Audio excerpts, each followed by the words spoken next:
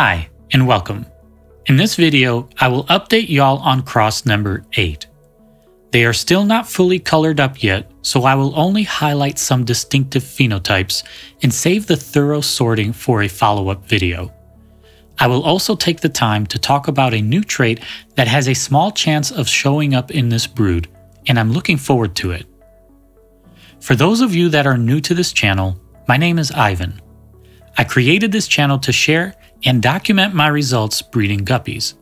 My first goal is to try and restore a line that breeds true for an all white phenotype. I challenged myself to start with a single white male we named Gandalf and intentionally bred him to four different females that did not come from a line of white guppies. We are currently near the end of a series of back crosses and are beginning to see a small subset of each brood showing the all white characteristic that Gandalf has. Crosses 2 and 8 will be the most relevant for this video. As a quick review, the C2 mother to this brood is heterozygous for the gray based body color, European Blau, potentially Stoerzbach, and Magenta. The card in the corner will take you to a video where I discuss these genes in more detail. But the main takeaway is that we should expect eight major phenotypes. These different phenotypes should actually look very similar to the ones we saw for Cross 7. The exception here is that our C2 female has some red pigments. So I am expecting that the white colors in this brood will be less transparent than the white colors in Cross 7. Our C2 female also has a very large tail and dorsal fin compared to all the other females I've bred to Gandalf so far. I am curious to see how this affects the fins in this brood. Something new about this brood compared to our other crosses thus far is that there is another trait that I think might show up. Take a look at this male. I pulled him out of my mixed guppy tank and he shows this new trait well. It's a trait that makes the top of the head and nose area of the guppy iridescent rather than colored with the normal gray or blonde scales. For a better comparison, here are two guppies side by side. On the left is the first male I showed you with the iridescent forehead. On the right is one of the C5 male breeders. It is pretty clear that the C5 breeders have a light colored forehead, but they are not nearly as iridescent as the male on the left. What's strange to me is that Gandalf doesn't really have it either. Take a look. I'm actually not sure what the trait is called, and if you do, please comment what it is below. At first I thought it might be metalhead, but metalhead typically includes the sides of the head and cheeks and is associated with Moscow strains. I'm just calling it an iridescent forehead for now. I know this trait isn't something brand new. It's actually pretty common in some intensely iridescent strains like full whites, Santa Clauses, and some 24 karat gold guppies. I actually have another male that has this trait too. A while back, I transferred him into a tank I have at work, so I apologize if the lighting doesn't match up well with the previous shots. The big question is where did these traits come from?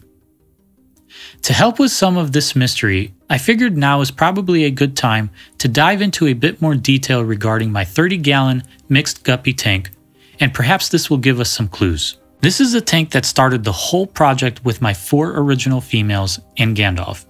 After I collected the first broods from the females, I put them back into this tank and I let them drop their subsequent broods of fry here. Females 1 and 3 died soon after their first drops, so the only batches of fry in this tank came from females 2 and 4. I kept Gandalf in the tank for the majority of the time and only pulled him when I needed him to pair up with females in my main project. As the fry grew in the 30 gallon tank, I would remove any male that would start developing as soon as I could. This ensured that it was always just Gandalf and the remaining females. This meant that there were lots of additional back crosses happening here. The difference between my main breeding project and this community one is that there was no strict selection of the females, and presumably, they became pregnant as soon as they matured. Periodically, I returned any favorable males that developed the full white color, but I really only started doing this recently. The males with the iridescent forehead came from this community tank. Most of these males tend to have random patches of black, so I did not return them into the 30 gallon tank. This is why one of these males lives in a 10 gallon tank at work. The first male with the iridescent forehead I showed did actually make it into the 30 gallon tank because I really liked this trait, and he only has minimal amounts of black spots. I suspect that the mother, or mothers, to these males are sisters to my C2 female. Reason being, female number 2 was the first to drop multiple batches of fry before female number 4. Therefore, her offspring matured and then dropped batches of their own fry first. These males were some of the first ones to show up during that period of time. Secondly, none of the males that had the iridescent forehead had the half black trait. Now, I know this is a reason that doesn't hold too much weight because my sample size is way too small, but I still wanted to point this out. So, given all this, I am anticipating some of the males in Cross 8 to exhibit this trait.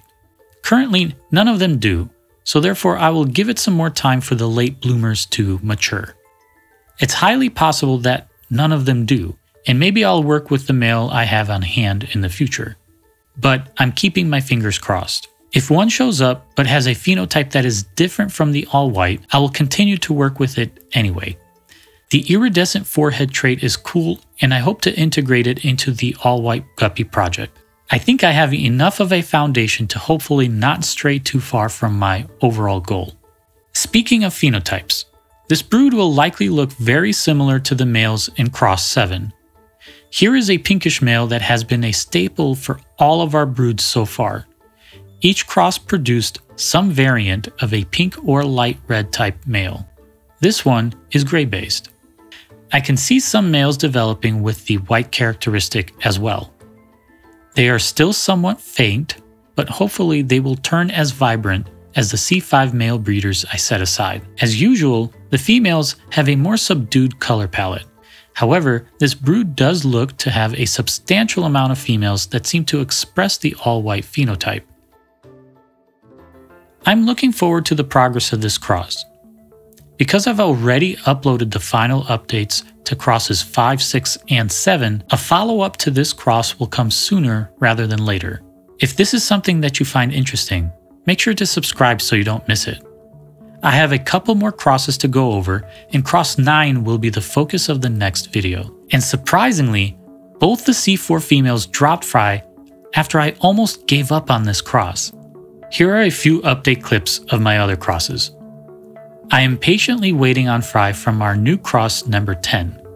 She is in her own separate tank with Gandalf, and there are hopefully enough hiding places for the Fry to swim to. I am establishing a new cross that I am labeling Cross 11 between one of the C5 males and a few females from Cross 6.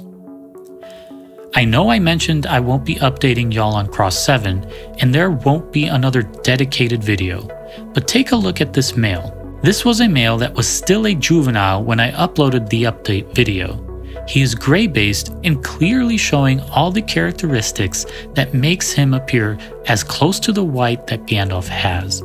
He is very pretty and I'm planning on holding on to him. Thanks for watching and I hope to see you in the next one.